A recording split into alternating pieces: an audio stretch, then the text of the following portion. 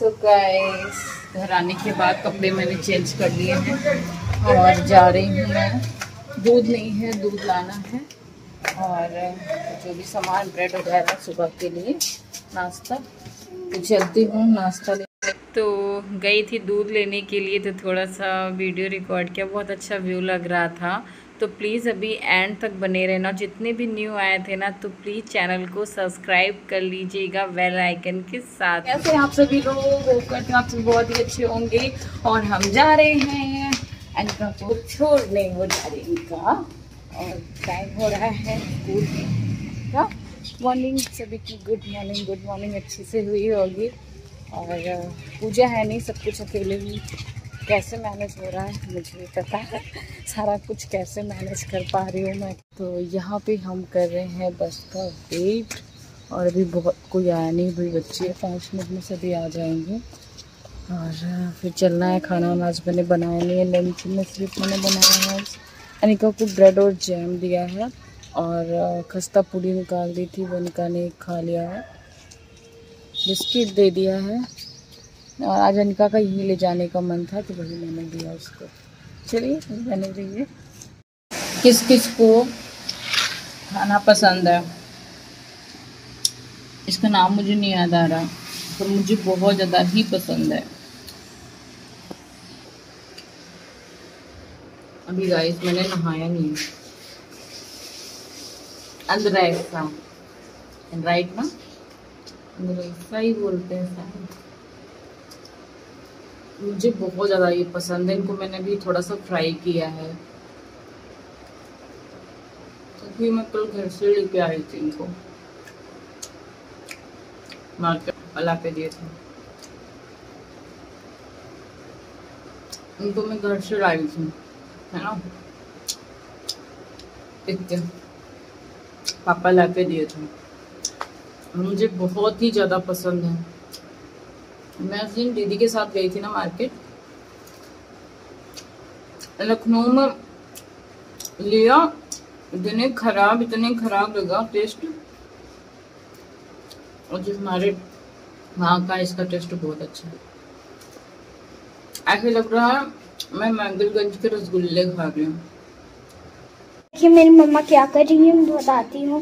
अभी तो मैं यहाँ से मतलब ऐसे ही आई थी फ़ोन चलाया मैंने, सोचा वीडियो बनाती थी थोड़ा। तो वह मेरी मम्मा क्या कर रही है? अभी मैं दिखा दी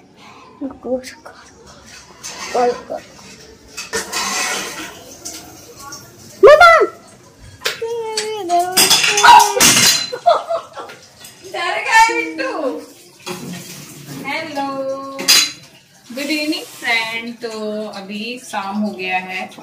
दोपहर से बिल्कुल भी हम आपसे नहीं मिले हैं। अभी लाइट चला गया था लाइट आई है अभी। और अंधेले में भी खिचड़ी बना रहे थे आज हम बना रहे हैं खिचड़ी क्योंकि यार कुछ और खाने का मन ही नहीं कर रहा है हम लोगों का। तो अनिका की फेवरेट खिचड़ी है जो हम फ्राई करके बना रहे हैं प्याज और मिर्च से और हरी दाल की खिचड़ी। बहुत ही टेस्टी लगती यम्मी यम्मी फिर अनिका अभी पढ़ाई करेगी लाइट आएगी तब तक मैं बना लेती हूँ ठीक है? लाइट तो कब की आ गई? अभी आई है ना? हम्म।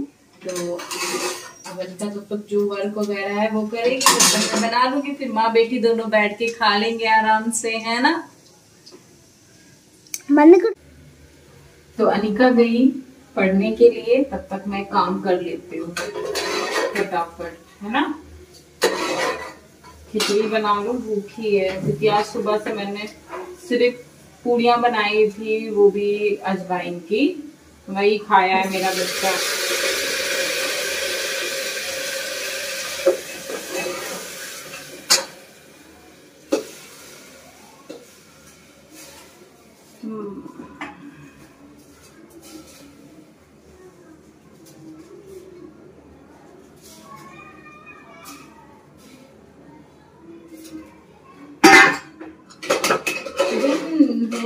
चाहे रात हो हम दोनों का साथ हो। होठों पे मेरे सनम बस तेरी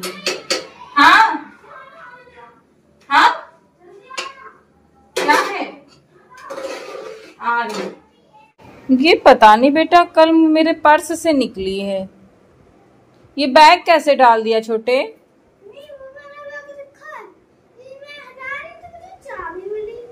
चाबी पता नहीं। बैग उठा सही से रखो। तो। रख दो वहीं पे। तो यहाँ पे मैं बर्तन क्लीन कर रही हूँ थोड़े बहुत रखे हुए तब तक खिचड़ी बन जाएगी। अनिका को भूख भी लगी जैसे मैंने आपको बताया कि सुबह वो क्या क्या लेके गई थी, इसलिए उसको भूख लग गया है। तो लेकिन उनका मन था ले जाने का तो जो अनिका को खाने में पसंद है तो मैं वही ज़्यादा देती हूँ जो उसको अच्छा लगता है। बच्चा खा ले, बस ये चीज़ होती है ना। हम अपने मन से कुछ भी बना के दे देते हैं, वो टिफ़िन फिनिश ना कर रहे तो अच्छा भी नहीं लगता है। और आज पूरा टिफ़िन फिनिश हो गया था। वैसे तो अनिका को भूख बिल्कुल भी नहीं लग रही थी तो मैंने भूख वाली टॉनिक मंगवाई। और तब मैं दे रही हूँ तो थोड़ा बहुत खाना खा रही है, वरना बहुत ज़्यादा कमज़ोर हो गई थी जब से लखनऊ आई थी। खाती ही नहीं थी बिल्कुल भी कुछ भी। और तो जब से टॉनिक पी रही है ना, तब से खाने पीने लगी है थोड़ा बहुत जितना भी। ये है कि टिफ़िन में ज़्यादा कुछ वापस नहीं आता है, फिनिश कर ही लेती है तो फटाफट हम कर लेते हैं अपने काम। आधा, मेरा जैसे हो पूरा चंद्रमा। अंधेरा तेरा, ये देखो मैंने ले लिया मेरा, मुझे तारा तेरे नाम किया। चन्ना मेरे या मेरे या तो गाइस अभी हम मेहंदी गए थे दीदी के वहाँ पे, दीदी ने मुझे मेहंदी लगा दी। बहुत दिन से बोल रही थी दीदी मेहंदी लगाने को। आज उन्होंने मेरी मेहंदी लगा दी। बहुत ही अच्छी मेहंदी लगाती हैं यार। बिना सीखे हुए इतना टैलेंट है यार दीदी में। देख सकते हो, कहीं भी सीखने नहीं गई, खुद से ही वो मेहंदी लगाती हैं। और अभी हम गए थे नीचे टहलने के लिए तो दीदी ने मुझे मेहंदी लगा दिया। तो हमने कहा, भाई, आप लोगों को तो दिखाना बनता है ना?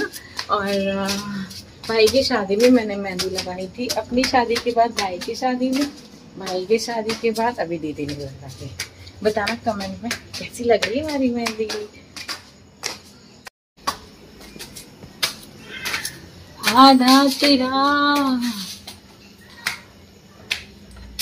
मेरा बच्चा देखो बड़ा हो गया है।